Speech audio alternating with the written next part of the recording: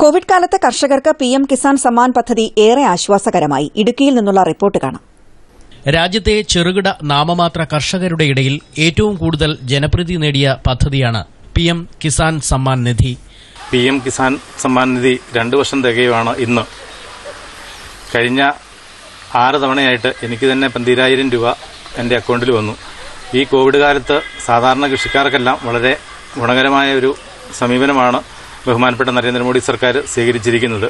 അതേപോലെ തന്നെ കർഷകർക്ക് യാതൊരു ഇടനിലക്കാരും ഇല്ലാതെ അവരുടെ അക്കൗണ്ടിൽ ഈ പൈസ കിട്ടുന്നത് വളം വാങ്ങാനും മറ്റ് കാർഷിക വൃത്തിക്കും ഏറ്റവും ഗുണകരമാണ്. രണ്ട് ഹെക്ടർ വരെ കൃഷിഭൂമിയുള്ള കർഷകർക്കായി കേന്ദ്ര ഗവൺമെന്റ് നടപ്പിലാക്കുന്ന പദ്ധതിയാണ് പ്രധാനമന്ത്രി കിസാൻ സമ്മാൻ നിധി. ഇപ്പം നമ്മുടെ ഈ കിസാൻ സമ്മാന പദ്ധതി കേന്ദ്ര സർക്കാർ കൊണ്ടുവന്ന് പ്രധാനമന്ത്രി കൊണ്ടുവന്ന ഈ കാര്യത്തിലൂടെ ഒട്ടേറെ ഗുണങ്ങൾ ഈ നാട്ടിലെ നിർധനരായ അമ്മമാർക്കും അച്ഛന്മാർക്കും ഗുണം ചെയ്തിട്ടുണ്ട്. കാർഷിക വിളകൾ ഉൽപ്പാദിപ്പിക്കുന്നതിനായി പ്രതിവർഷം ആറായിരം രൂപ കർഷകരുടെ അക്കൌണ്ടിൽ നിക്ഷേപിക്കുന്ന പദ്ധതിയാണിത്. രണ്ടായിരം രൂപ വീതം മൂന്ന് ഘട്ടങ്ങളായാണ് കർഷകരുടെ അക്കൌണ്ടിൽ പണം എത്തുന്നത്.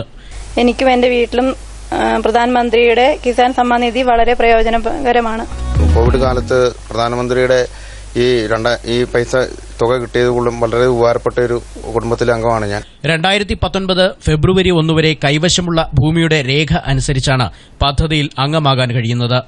പദ്ധതി സംബന്ധിച്ച സംശയങ്ങൾ പരിഹരിക്കാനും അർഹത പരിശോധിക്കാനും ഓൺലൈനിലൂടെ അവസരമുണ്ട്. കൊറോണ വ്യാപനത്തിനും പ്രളയഭീതിക്കുമിടയിൽ രാജ്യത്തെ കർഷകർക്ക് ആശ്വാസമായി പ്രധാനമന്ത്രി കിസാൻ സമ്മാൻ നിധി മാറി. ഞങ്ങൾക്ക് പ്രധാനമന്ത്രിയുടെ കിസാൻ സമ്മാന പദ്ധതി കിട്ടുന്നത് കൊണ്ട് ഈ കോവിഡ് കാലത്ത് വളരെ പ്രയോജനപ്രദമായിരുന്നു.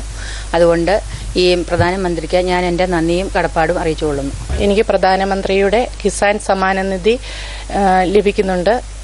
ഈ കോവിഡ് കാലത്ത് എനിക്ക് അത് വളരെ പ്രയോജനകരമായിട്ടുമുണ്ട്. രണ്ടായിരത്തി പത്തൊൻപത് ഫെബ്രുവരി ഇരുപത്തിനാലിന് ഉത്തർപ്രദേശിലെ ഗോരഖ്പൂരിൽ പ്രധാനമന്ത്രി നരേന്ദ്രമോദിയാണ് പദ്ധതിക്ക് തുടക്കം കുറിച്ചത്. ഒരു ലക്ഷത്തി പതിനായിരം കോടി രൂപയാണ് കർഷകർക്ക് പദ്ധതിയിലൂടെ ഇതുവരെ വിതരണം ചെയ്തത്.